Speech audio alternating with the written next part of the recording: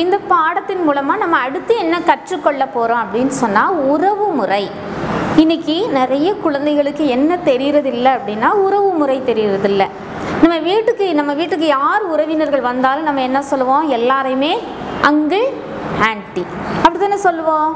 இதே நேரத்தில் நீங்கள் அவங்க சரியான உறவு முறையில் அவங்கள அழைக்கும் போது அவங்களுக்கு ரொம்ப சந்தோஷமாக இருக்கும். உங்களுக்கும் ரொம்ப சந்தோஷமாக இருக்கும். அதனால என் மாண மாணவ செல்வங்களே நீங்கள் இன்றைக்கி என்ன செய்கிறீங்க அப்படின்னா உங்களுடைய உறவு முறைகளை தெரிஞ்சுக்கணும். நாமெல்லாம் யார்? தமிழர்கள்.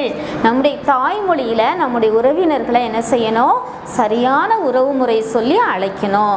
அதனால இந்த பாடத்தின் மூலமாக இன்றைக்கி நீங்கள் எதை கற்றுக்கொள்ள போகிறீங்க உறவு முறையை கற்றுக்கொள்ள போகிறீங்க அம்மாவின் அக்கா உங்களுடைய அம்மாவின் அக்காவை எப்படி அழைக்கணும் அப்படின்னு சொன்னால் பெரியம்மா என்னோட சேர்ந்து ஒரு முறை சொல்லுங்க. என்ன சொல்வீங்க?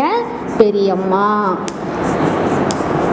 அடுத்தது பாருங்க அம்மாவின் தங்கை. நம்ம அம்மாவுக்கு தங்கை இருப்பாங்க தானே? இப்போ எழிலனுடைய தங்கையை நம்ம பார்த்தோம் தானே? இது யாரோட தங்கை? நம்முடைய எழிலனுடைய தங்கை. அதே போல் நம்ம அம்மாவின் தங்கையை நம்ம எப்படி அழைக்கணும் அப்படின்னு சொன்னால் சித்தி.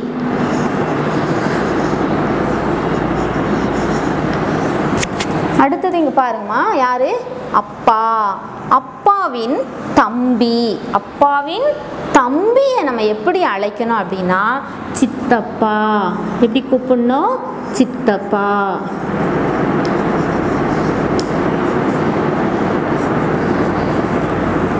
நம்ம அப்பாவுடைய அண்ணன் அப்பாவின் அண்ணன். அண்ணனை எப்படி கூப்பிடணும்? பெரியப்பா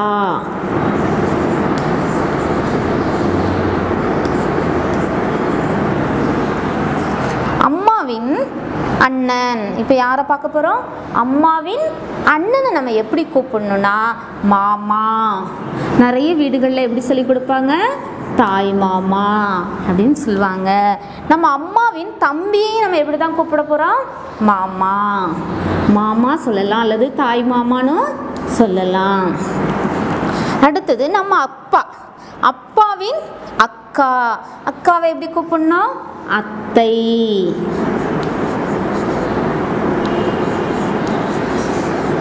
நம்ம அப்பாவின் தங்கையும் எப்படி தான் அழைக்கணும்? அத்தை.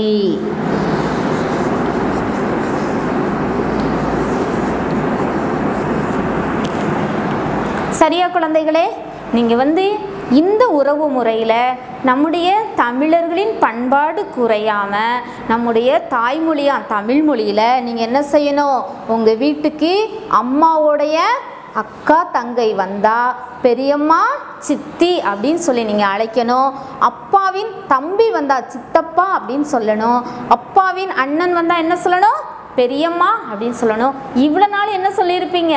அங்குன்னு சொல்லியிருப்பீங்க. அண்ட் யார் வீட்டுக்கு வந்தாலும் அங்கிள் ஆண்டி அப்படின்னு சொல்லியிருப்பீங்க. ஆனால் இந்த எழிலன் இந்த மூலமாக நீங்கள் இன்னைக்கு கற்றுக்கொள்கிறது என்ன? என்ன செய்யணும்? இனி உங்கள் வீட்டுக்கு உறவினர்கள் வரும்போது நீங்கள் இந்த பாடத்தின் மூலமாக கற்றுக்கொண்டதுபடியே நீங்கள் என்ன செய்யணும்? அழைக்கணும். இப்படி நீங்கள் அழைச்சி பாருங்கள் உங்களுக்கு எவ்வளோ மகிழ்ச்சி கிடைக்குதுன்னு பாருங்கள் அம்மாவின் அண்ணன் வந்தால் மாமா. அம்மாவின் தம்பி வந்தால் நீங்கள் என்ன சொல்லணும்? மாமா அப்பாவின் அக்கா வந்தால் எப்படி சொல்லணும்? அத்தை தங்கை வந்தாலும் என்ன சொல்லணும்? அத்தை இப்படி உறவு முறையை நீங்கள் சரியாக என்ன செய்யணும்?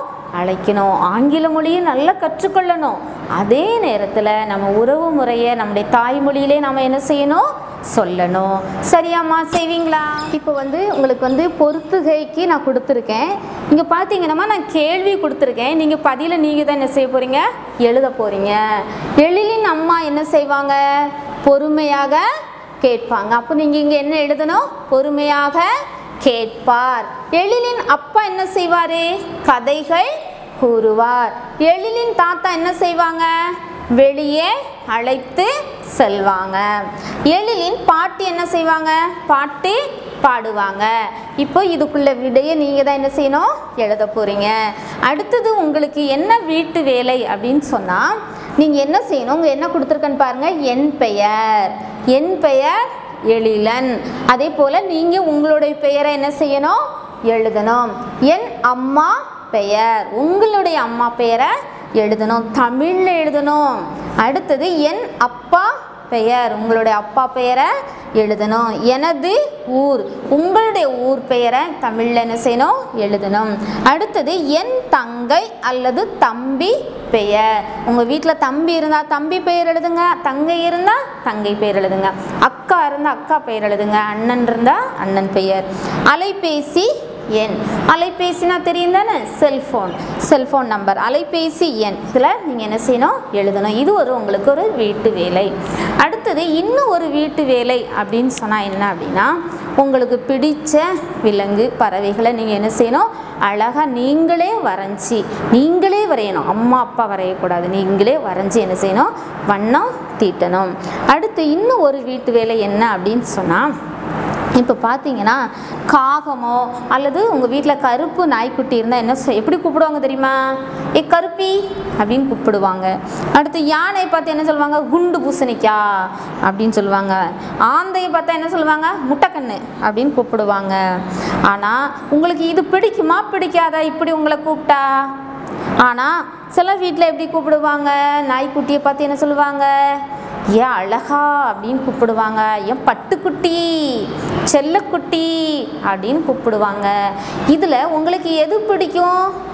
பட்டுக்குட்டி செல்லக்குட்டி அழகா அப்படின்னு கூப்பிட்டா பிடிக்குமா? அல்லது கருப்பி குண்டு பூசணிக்கா?